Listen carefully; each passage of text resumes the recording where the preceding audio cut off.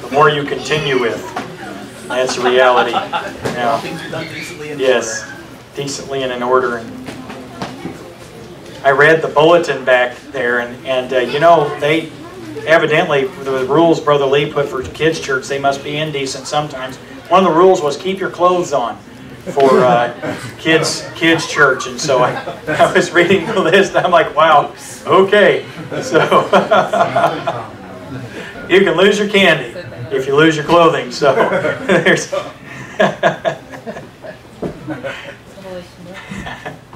We're in Revelation chapter 20 today, and we're nearly finished with our series in Revelation. And I do not see Tony today, and so I cannot give you information about the videos all being uploaded in order. But I will recommend for you, particularly if you've missed some of the messages we've gone as we've gone through Revelation, I would recommend for you to take the time to go online and watch those messages.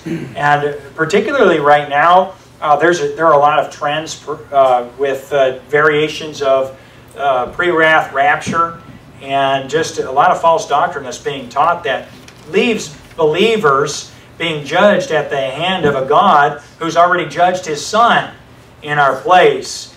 And that really is the core issue uh, that has to do with the correct interpretation of Revelation, where we see the church uh, has been taken out of the world before God begins to judge.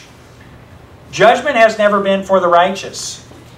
God chastises the righteous when they are in sin, but the type of judgment we see in the Revelation is not for God's people.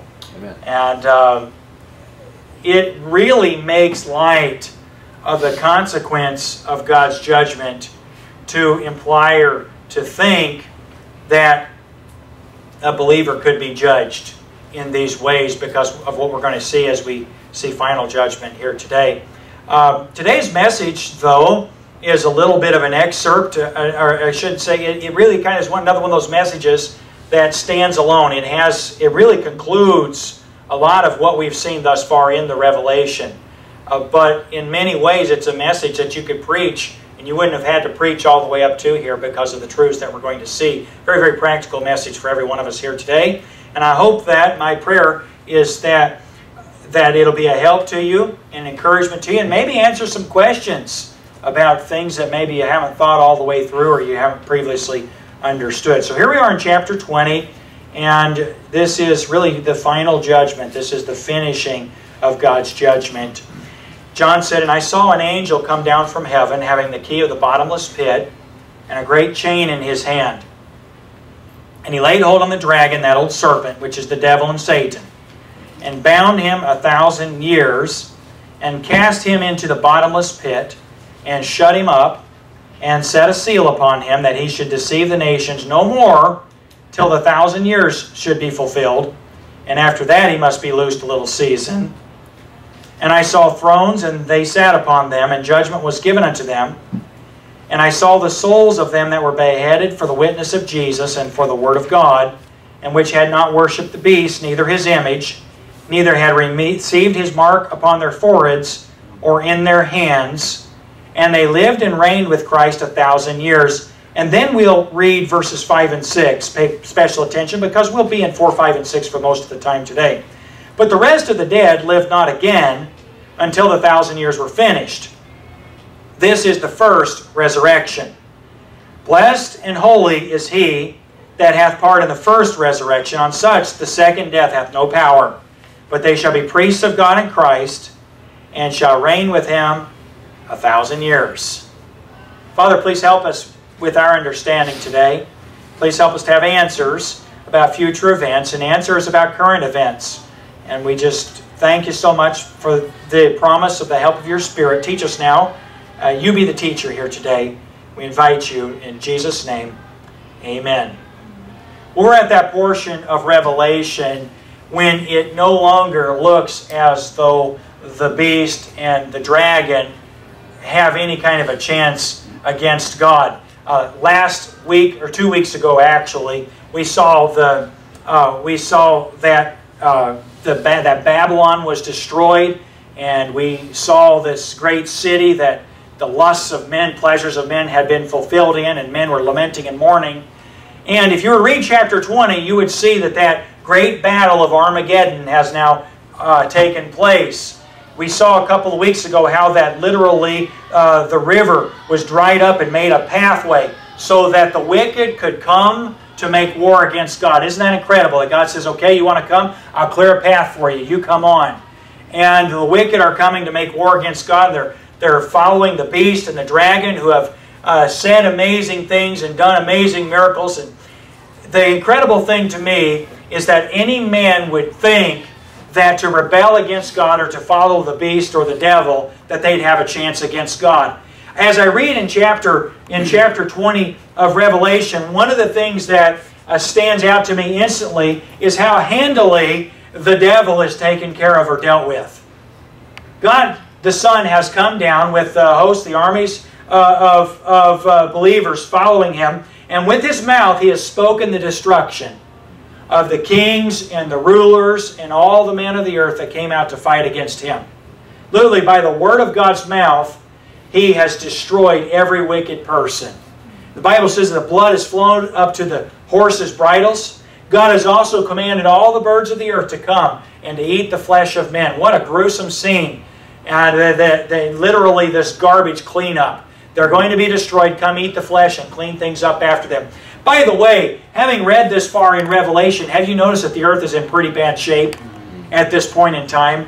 I mean, it seems to me when a third part of the earth is destroyed, and all the waters and all the rivers and, and all the streams and all the fountains of the deep have turned to blood, it seems like things are in pretty terrible shape. But God is about to take something terrible and He's about to fix it.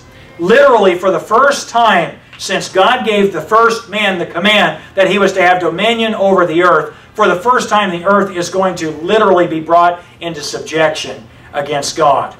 How handily the dragon is destroyed or taken care of. Uh, isn't it amazing that God Himself does not come and say, okay, Devin, or De Devin, we got Devin. Okay, devil, it's you and me, mano a mano. God versus Satan, good versus evil. God and Jesus aren't brothers. They're not peers, they're not contemporaries. Jesus is God. And the Satan is a created being who is in rebellion against God, who because God is merciful toward mankind, has been allowed to come to the place of preeminence that he is. But my friend, Satan is no threat for God. And God sends an angel with a chain and says, go tie him up and lock him up. Literally, an angel at the command of God deals handily with Satan. That's how powerful Satan is. He isn't as powerful as the angel of God who's sent to bind him and to put him in the bottom in the pit for a thousand years. Friend, there's no contest of good versus evil. There's no contest between good versus evil. You may choose evil, but your consequence will be inevitable. It will come. It's not a matter of, well, you know what? If I can win out against God, my friend, evil never wins. You and I can find comfort in much the same way that King David did in Psalm 37 when he said, Fright not thyself because of evildoers, neither be thou envious against the workers of iniquity, for they shall soon be cut down as grass and wither as the green herb.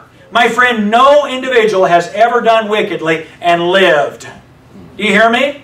No individual has ever done wickedly and lived. You say, Pastor, I see wicked people living today. My friend, God's merciful and He's long-suffering. And the purpose of His mercy and His long-suffering, read 2 Peter 3 sometime, is because God is not willing that any should perish, but that all should come to repentance. And it is amazing that God allows the wicked to repent, but an unrepentant wicked individual will absolutely, for certain, be judged at the hand of an angry God. It's inevitable. And so you and I can find comfort knowing that any evil that is done against us, listen, God's got it handled. But you and I can also find warning in that any evil that we do, God will judge. No one has ever escaped God's judgment. And this is a stern, solemn warning in Revelation chapter 20. It's also a time of great rejoicing, and it's a time uh, where things are made right. I, I like the, to read verse 4 when the Bible says, I saw thrones and they sat upon them. Who? And judgment was given unto them. Who? And I saw the souls of them that were beheaded for the witness of Jesus and for the word of God. Well, when did that happen? Well, we see the specific time that we're speaking of here. And it says and which had not worshipped the beast, neither his image, neither had received his mark upon their foreheads or in their hands. And so we know that these would be individuals who became believers during the uh, period of seven years of the Great Tribulation. And so these would be individuals that would not take the mark of the beast. They would not take the mark on their hand or in their foreheads. They would not bow or worship to the beast. And so they were killed for that cause. And yet we see then that they become part of what the Bible calls in Revelation the first resurrection. Now this is the first resurrection within its context. My friend, isn't the first resurrection that's ever happened. It's the first resurrection during the millennial reign of Jesus Christ. This is helpful for us to understand. And I'd like to refer to just a couple of things uh, to, to help us to be reminded about the resurrection. Will you please go to Matthew chapter 27 in the New Testament, first book of the New Testament, if you will, please. Matthew chapter 27, I want to remind you about the first resurrection. And uh, I want to remind you about what happened at the first resurrection. Uh, in verse 50, uh, this is when Jesus is on the cross. Jesus, when he had cried again with a loud voice, yielded up the ghost. And behold, the veil of the temple was rent in twain from the top to the bottom. And the earth did quake, and the rocks rent. And then notice verse 52, And the graves were opened, and many bodies of the saints which slept arose, and came out of the graves after his resurrection, and went into the holy city, and appeared unto many. So when Revelation chapter 20 says this is the first uh, resurrection, it is not talking about the resurrection of the saints who had been sleeping in the graves, who had been in paradise uh, with Abraham. Uh, not speaking of those saints. It's talking about the first resurrection during the tribulation period. You see the context there. But it's interesting to look at this first resurrection, and it's important for us anytime we discuss these events to set straight some things that I think sometimes believers have a hard time uh, separating or understanding. See, there's a difference between paradise and heaven. And there's a difference between hell and the lake of fire. And a lot of believers, uh, we mix them all together. Now, it's true that paradise is a place for those that love God, the same as heaven is. Paradise is the same is, is the same kind of a place for people who would be in heaven. But paradise was a sort of a down payment type of eternal life. In other words, a person who was in paradise because the work of the cross was not completed, they did not yet get to go to heaven and be present with the Lord. I love what Paul tells the church at Corinth when he says to be absent from the body is to be present with the Lord. And that's what happens today when a believer dies. But back then when a believer died, he went to paradise. It was a waiting place. It was not a place for soul sleep, but it was a waiting place for believers because the blood had not yet been offered in the throne room. The final sacrifice for sin had not yet been made, and so man was not yet reconciled to God, and so man could not just die and go to be with the Lord. He was waiting for the promise. So you can imagine with me how much anticipation there was even in paradise for the work of the cross. And what a day, what a time of rejoicing it would be when outside of the city of Jerusalem, those individuals, when Jesus said, It is finished, and the rocks uh, there was an earthquake and the rocks ripped in half and the veil of the temple from the top down to the bottom ripped wide open and signifying that God's presence was not in the temple. That now God would dwell with men and now God would be live inside of men and God's presence would not be restricted to the temple but that man would be able to go into the presence of God right in heaven and so there was no barrier anymore. There was no veil. There was no separation between God and every single man because of the work of the cross being finished. And at the same time, the graves were open and the believers came out of the graves, they were resurrected.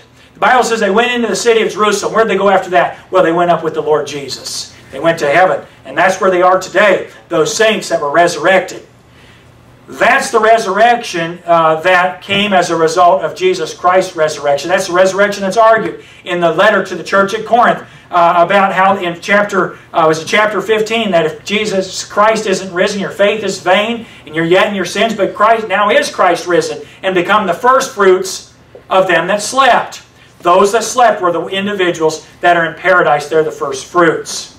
There's also a difference uh, between. Oh, okay, so now let me just explain as well. Paradise was, we believe, to be in the center of the earth. And uh, let's read the description of it in Luke chapter 16. If you will, please. We see two individuals went to the same place, but there was a gulf or a separation. So Luke chapter 16, most of you know the account of the rich man in hell, but it's a good picture, a good explanation of, uh, of how that hell and paradise uh, were holding places, waiting for the final resurrection. Somebody tore Luke out of my Bible. I can't find it. There it is, Luke chapter 16. And go down with me to verse 19. We'll look at this, look at this story of the rich man and a man by the name of Lazarus. There was a certain rich man which was clothed in purple and fine linen and fared sumptuously every day. And there was a certain beggar named Lazarus, which was laid at his gate full of sores, and desiring to be fed with the crumbs which fell from the rich man's table. Moreover, the dogs came and licked his sores. Let me just stop here just for a minute and help you with your thinking. You know, how you think affects how you feel. Sometimes the way we feel affects how we think, but the actual opposite should be true. You know, if you feel grateful, you'll be amazed at how, how much better, or if you, if you think with gratitude, you'll be amazed at how much better you'll feel about life in general. It's just incredible when a person looks at what they have to be unthankful for versus what they have to be thankful. What they look at for something that's wrong instead of something that's right, it's amazing what a different outlook our entire life is. You know, I came to the conclusion several years ago, and I'm firmly convinced and will be forever, uh, that I just don't have anything that isn't just fine. If you were to ask me, Brother Price, what do you need? What do you need? You know what my answer is? I'm not like those that say we're rich and we have need of nothing and they don't see that they're blind and that they're naked and that they have need uh, of everything. No, my friend, I have Jesus. And Jesus is all I need. The truth of the matter is you could take from me anything that I have, anything even that I feel is a necessity for life, and because I have eternal life, I have everything I need. If God gives me things, and He does, but if God gives me something, it's a blessing, but it's not what I need. What I need is Jesus. And if you come to the understanding, the place that all you need is Jesus, my friend, you'll realize how well you have it. You know, life itself, not only is it a vapor, but my friend, it is a vanity. And when you begin to live for the things that can be realized and that can be had in this life, my friend, you're going to come up very empty. And you're going to come up wanting. You know the thing most people need in life? Well, it's the thing that you can have in Jesus, relationship. Most people need relationship. You know what you find out in life? Relationships are all temporary.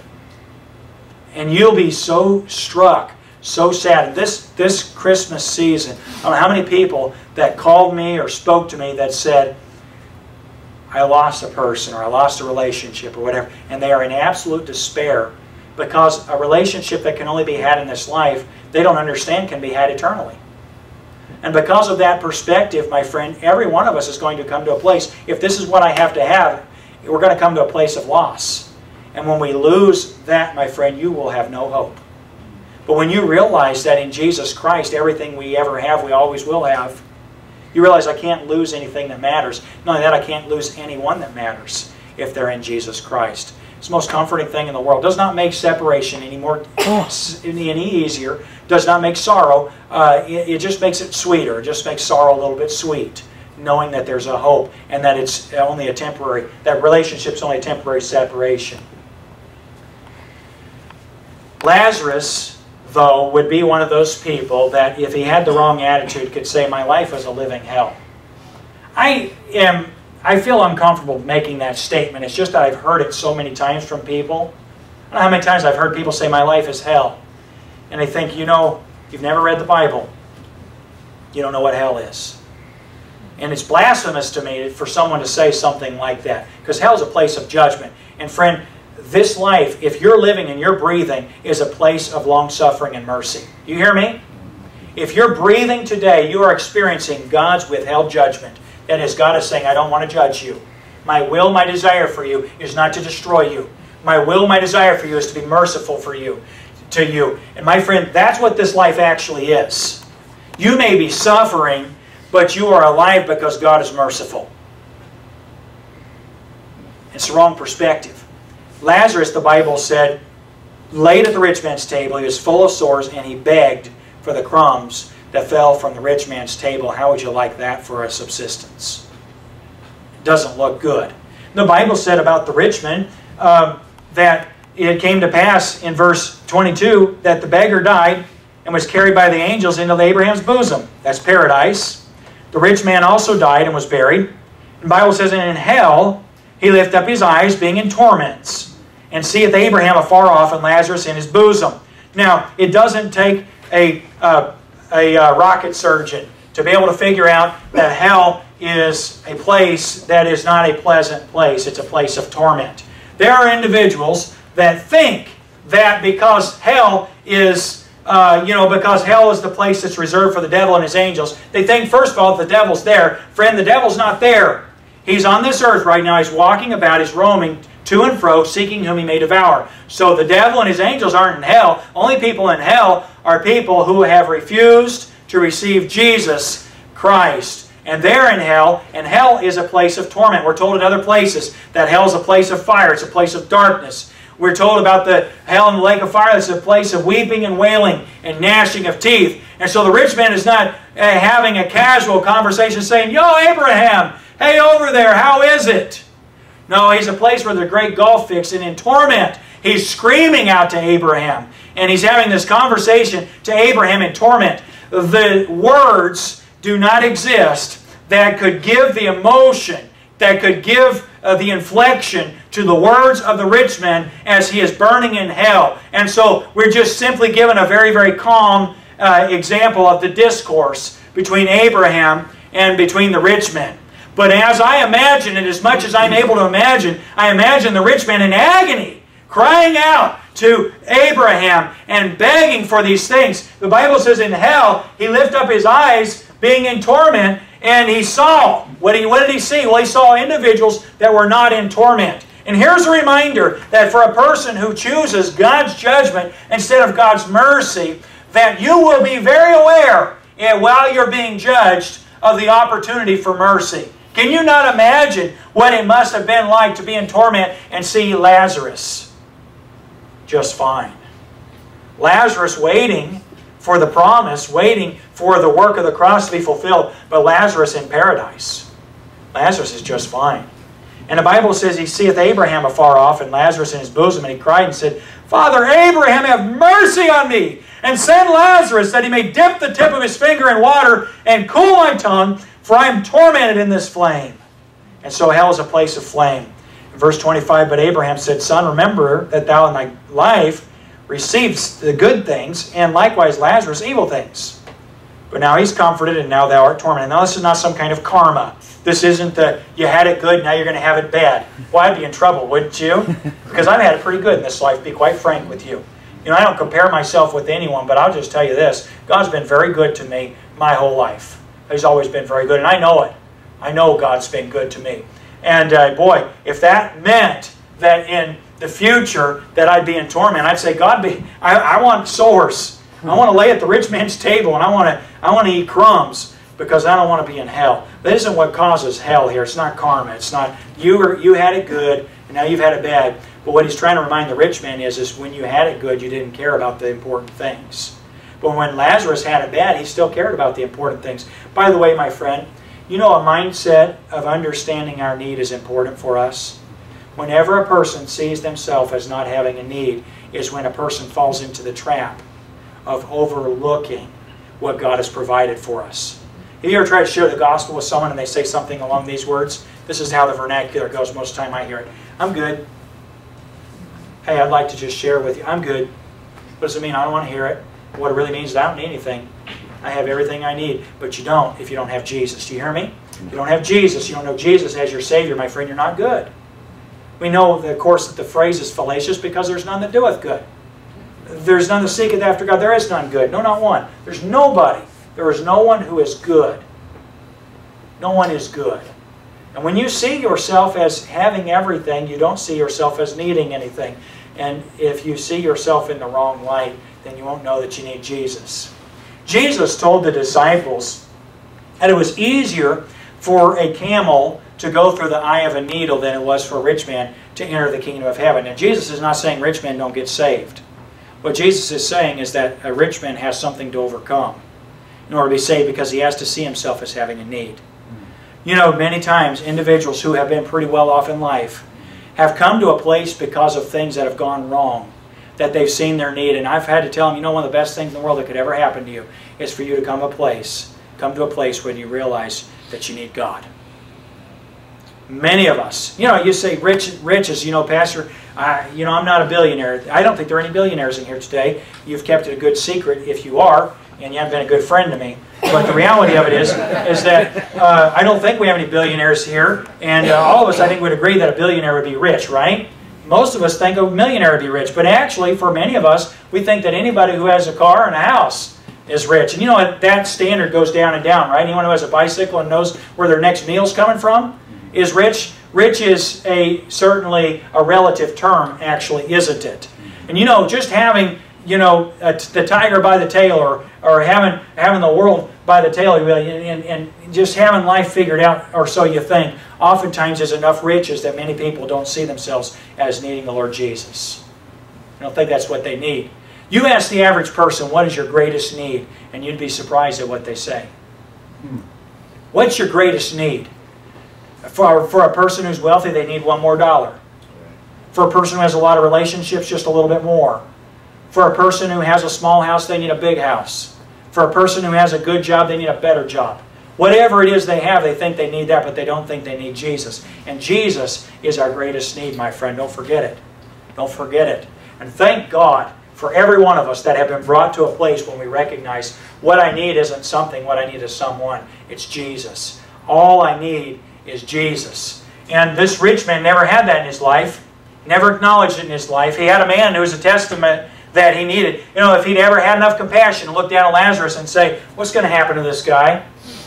What's going to be his future? How's it going to end up? He might have found some answers to some questions that he had because uh, Abraham told him, You have Moses and the prophets. He's speaking of, uh, of them. Listen to what he said when he asked him to testify to his father's house. Verse 7. Oh, let me talk about the permanence of hell, verse 26, quickly. Uh, beside all this, between us and you, there's a great gulf fixed, so that they which would pass from hence to you cannot, neither can they pass to us that would come from thence. Now, I don't know why any person would desire to go from paradise to hell, but you could because of the gulf that was between the two. In other words, here's paradise, and here's hell, and there's a, there's a division between the two, and you can't overcome that. You can't go from one to the other. Regardless, if you desire to go from hell to paradise or paradise to hell, that's a separation. It's a permanent separation. Can I remind you, hell is a permanent separation. And so his next response is, Warn my brethren, warn my brothers. In verse 27, I pray thee therefore, Father, that thou wouldest send him to my father's house. What is, why is he calling Abraham father? Well, because he would have been one of the descendants of Abraham. Abraham would have been his father physically, but actually he would have been like uh, he would have been one of those individuals described by Jesus when he said, We have Abraham to our father. Jesus would have said, You're of your father, the devil. So he's calling Abraham his father, but actually the devil is his father. Descendant, as far as his descent goes, yes, he's from the seed of Abraham. But as far as his heart goes, he's from the seed of the devil. He is of his father, the devil. And in verse 5, he says, I have five brethren, that he may testify unto them, lest they also come into this place of torment. And here's Abraham's response, and boy, this is profound. And we ought to get a hold of it. Abraham saith unto him, They have Moses and the prophets. Let them hear them. When he said they have Moses and the prophets, does that mean that Moses was living? No. We're he's talking about the Word of God. Moses, uh, Genesis, Exodus, Leviticus, Numbers, Deuteronomy, the prophets, all of the different books of the Old Testament of the Scripture. They have the Word of God that tells them definitively who God is, and not only tells them who God is, but tells them how they can know who, how they can know God and how they can avoid future judgment. And their response, and the rich man's response was to not believe.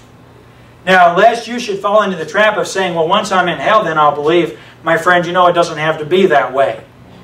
But you will believe. Uh, there'll, there'll come a time, the Bible says, when every knee is going to bow. And every tongue is going to confess that Jesus Christ is Lord. It had better be sooner than later. Soon rather than late. Because by the time this individual is a believer, he has ignored everything he had.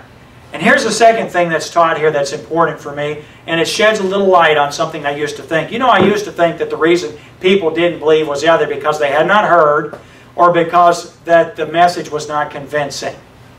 You ever feel inadequate to preach the gospel? I always do. I always do. I feel as though when I preach the gospel, man, you know, I just can't be convincing enough. You know something I realized a long time ago? That the gospel and the Holy Spirit of God are the convincers. I'm just the conveyor. I have to convince people.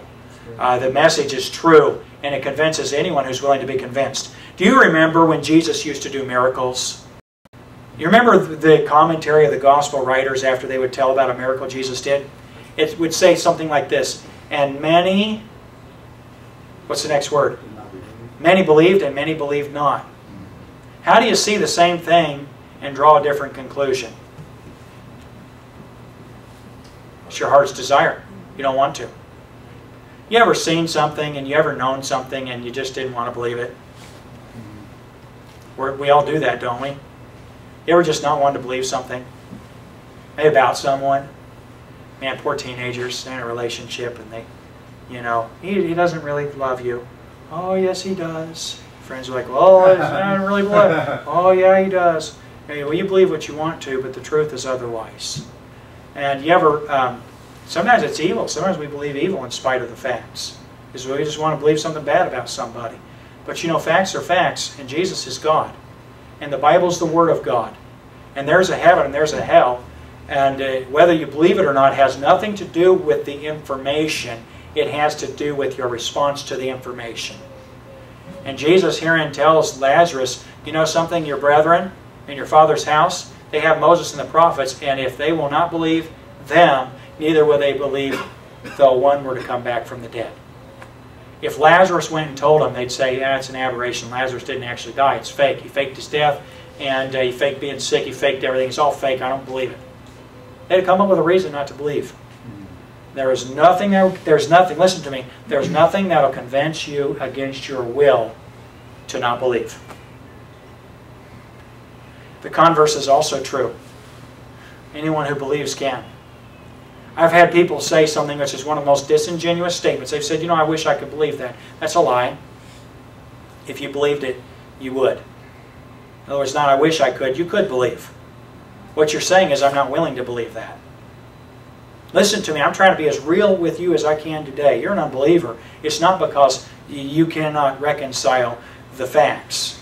The facts corroborate for any person who will believe.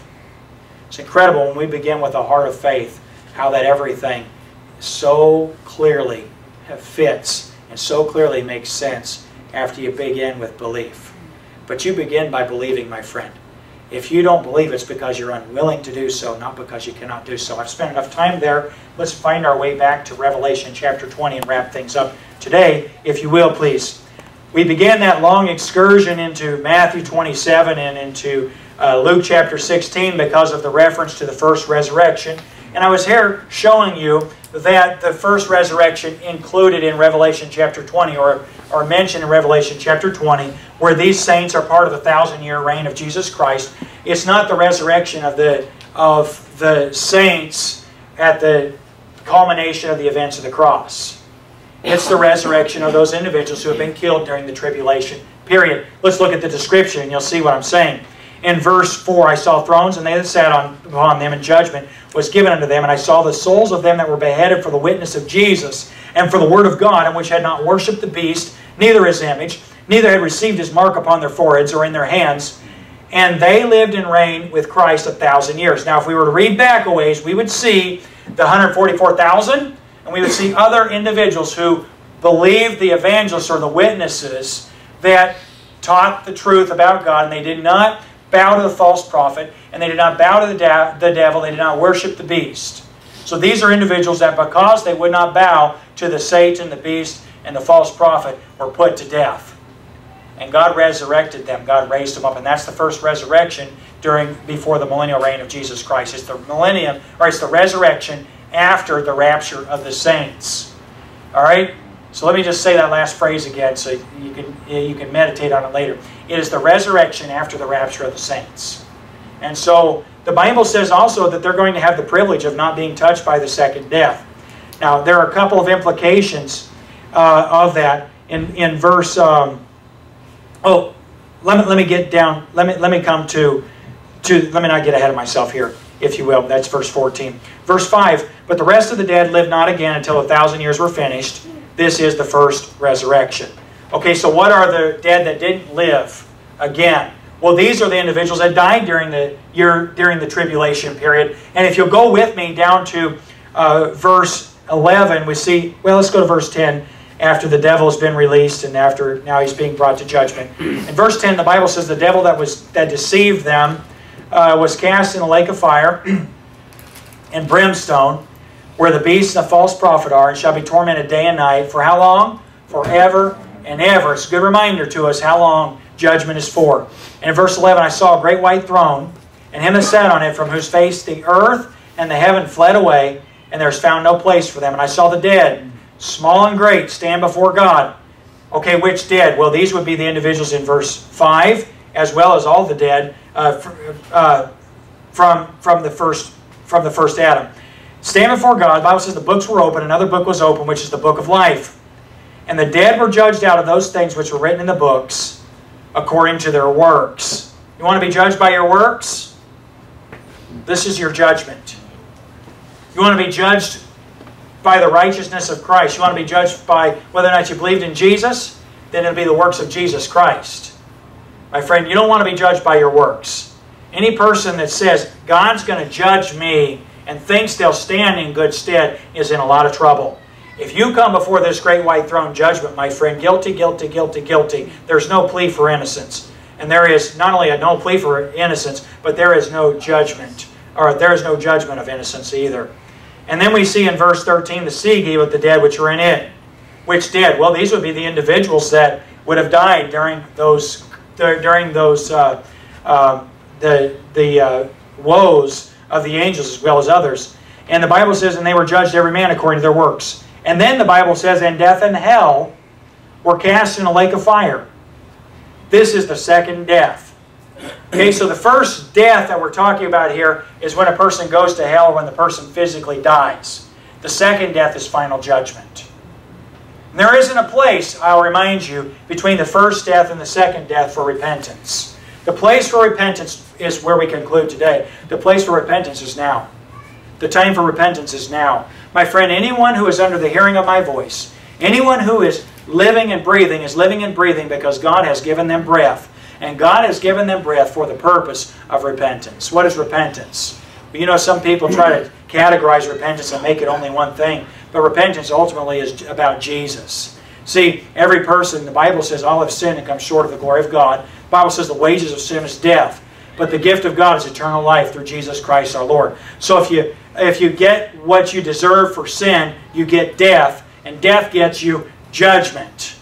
But the Bible says God's gift is eternal life through Jesus Christ our Lord. What's the object of our repentance? Jesus is. Jesus. You know, so many individuals are willing to be judged by God and unwilling to receive the work of the cross. And that is such an amazing contradiction to me that I cannot comprehend it. My friend, Jesus died and he never sinned. He died for sin which he did not commit so that you and I could have his righteousness. It's a no-brainer. Repentance is turning. Turning from our dead works, which will lead us to God's judgment, to faith in Jesus Christ from dead works. Turn from dead works to faith in Jesus Christ. And the Bible says, Whosoever shall call on the name of the Lord shall be saved. That's as simple as it is. And it cannot be any simpler. You say, Pastor, I don't know. I don't know if I have enough faith to believe. I love how Jesus illustrated faith, and I'll conclude with this. Can't, can't emphasize this enough. In John chapter 3, when Jesus was explaining to Nicodemus the simplicity of salvation, he said, As Moses lifted up the serpent in the wilderness, even so must the Son of Man be lifted up, that whosoever believeth in him should not perish but have eternal life.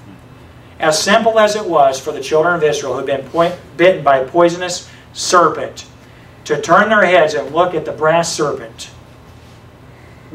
that's faith. Looking. Say, Pastor, I can't believe enough. You could believe enough. God, I want to be saved. You say, well, I don't know if I even believe in God. Yes, you do. You're believing lies. You try to say you don't. I don't know if I could really mean it if I called out to Jesus Christ. Listen, call out only to Jesus. Just look to Jesus and say, Jesus, I want God, I want to be saved because of what Jesus did. And in the same way, you think any person who looked at the brass serpent doubted before they were, before they were healed? Think any person who came to Jesus ever doubted? It's not addressing doubt, it's addressing belief. The fact that you want to be saved, God accepts, my friend. The fact that you want to believe in Jesus, that's a choice, it's a desire of the will. And the choice to put your faith in Jesus, my friend, God will receive it. That's repentance. You say, you mean you don't have to do anything to be saved? Jesus did everything so that you could be saved. You trust Jesus as your Savior, and all of a sudden you'll find, yeah, uh, you do. I, I do believe. How many times I have been with an individual who desired to be saved, but didn't know if they were sincere enough, or didn't know if they could believe enough, or if they were ready to turn over a new leaf and to change their life and all those things they thought they had to do. And when they came to the understanding of all I need to do is look to Jesus, all of a sudden they could do all the things they didn't know if they could do. Because it's God that does those things. All we have to do is believe. And here I see the greatest tragedy in the world. I see death and hell being cast in the lake of fire. And I see all these individuals, the sea giving up the dead that are in it. And I see all the dead being brought up before God. And I think of the tragedy of it because not a single one of them, not a single one of them had to face God's wrath. It was a choice in every instance. And just like it's a choice of belief, their choice was unbelief. And no one here today can say, you know, I left that place and I, I just didn't make a decision to believe. No, my friend, not making a decision to believe is making a choice of unbelief. Remaining in unbelief is a choice of the will, just like believing is. And all of us are faced with it, faced with the reality. We won't be able to play any games, uh, any semantics when we stand before God and say, well, God, I didn't exactly not believe. I just didn't quite believe enough or what. No, you either believe or you don't.